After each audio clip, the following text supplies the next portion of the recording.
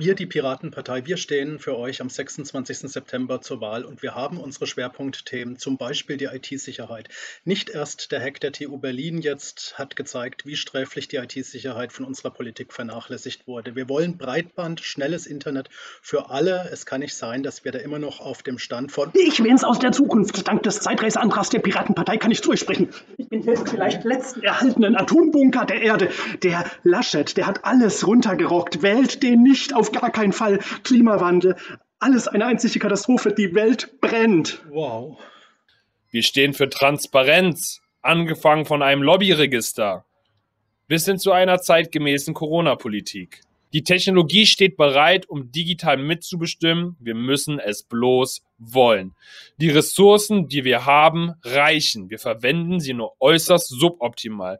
Schaut nur, wie schön die Zukunft jetzt werden wird. Und danke für eure Stimme.